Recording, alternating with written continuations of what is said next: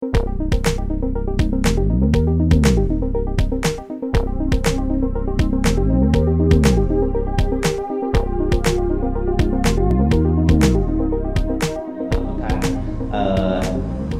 วันนี้มาในนามของ JFIN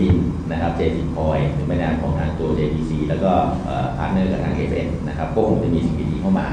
เอ่ออยากเล่าที่มาที่ไปก่อนนิดนึงคือเอ่อพัฒนาการของ JFIN นะครับที่เรา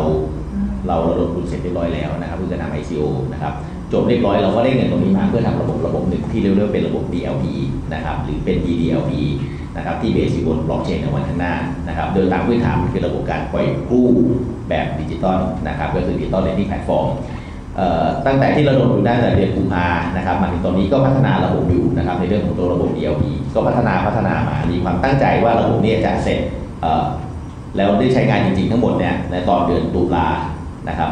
นะครับ เพราะนั้นตอนนี้คือหลังจากที่ระบบมันเสร็จแล้วเนี่ยผมก็ได้มีกล่าวไว้ว่าจะเอาระบบตรงนี้เนี่ยไปใช้กับกลุ่ม vertical ในแต่ละ industry ในแต่ละกลุ่มด้วยกันนะครับ เพื่อต้องการได้ Data ของแต่ละกลุ่มมานะครับแล้วก็เป็นการ partnership ในการเอา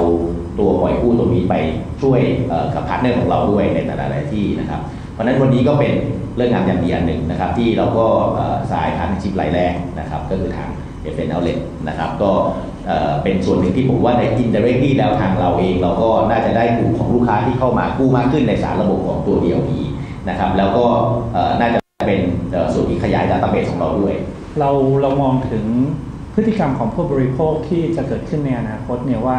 วิธีการจับจ่ายใช้สอยเนี่ยก็จะต้องการความคล่องตัวสูง เรื่องของ cashless society ก็จะเข้ามามีบทบาทค่อนข้างมากขึ้นนะครับ โดยเฉพาะการทำให้ลูกค้าสามารถจับจ่ายใช้สอยได้สะดวก แล้วก็พูดกันง่ายๆก็คือกระเป๋าตังค์ใหญ่ขึ้น สมัยก่อนเนี่ยก็ต้องอ้างอิงที่เครดิตด้วยบัตรเครดิตใดๆก็ตาม แต่ด้วยระบบใหม่ที่เรามองเห็นเนี่ยจากทางของ J JVC เนี่ยก็คือเรื่องของการใช้ดิจิทัลเข้ามา ส่งเสริมนะครับ เพราะฉะนั้นลูกค้าเองเนี่ยก็จะสะดวกมากขึ้น เพราะว่าวันนี้ device ที่ทุกคนพกไว้ตลอดเวลาก็คือโทรศัพท์มือถือ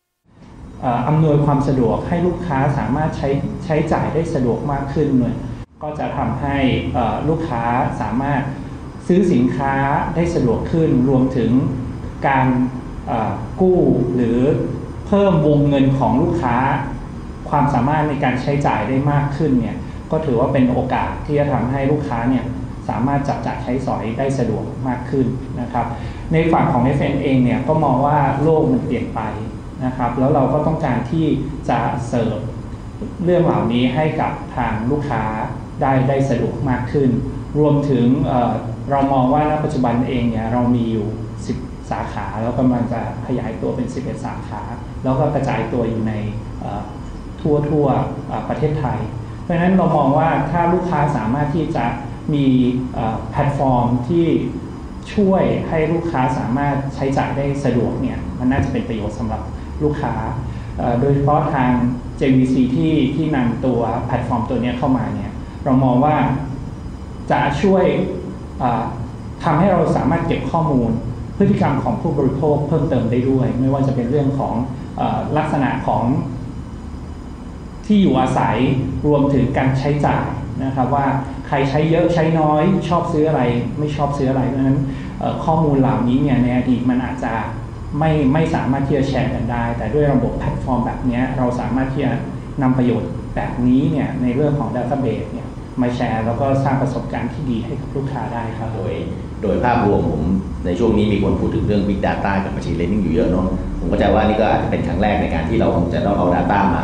ทดลองในการให้เป็น Data ที่เป็น Big Data ในการ partner กันแล้วก็เรียนรู้พฤติกรรมในที่คุณหนุ่ยเรียนให้ทราบเมื่อกี้ผมเชื่อว่าน่าจะมีพฤติกรรมของกลุ่มลูกค้า FN ที่จะมีพฤติกรรมบางอย่างที่เราน่าจะเริ่มเรียนรู้จริงๆกระบวนการการเรียนรู้เราน่าจะเริ่มเลยนะครับเมื่อกี้ที่ผมหนึ่งตุลานี่คือกระบวนการที่เราจะค่อยๆปล่อยอย่างเป็นทางการ แต่ว่ากระบวนการในการเรียนรู้เราจะเริ่มจากการคัดกรองกลุ่ม Data ของกลุ่มทางเอฟก่อนนะครับว่ามีพฤติกรรมอย่างไรบ้างกลุ่มไหนน่าจะลองให้ปล่อยข้อมูลยังไงบ้าง แล้วเราก็จะลองปล่อยแล้วลองศึกษาพฤติกรรมตรงนี้นะครับก็กระบวนการนี้ก็น่าจะเริ่มเลยนะครับที่เราได้มีการคุยกันมาสักพักหนึ่งแล้ว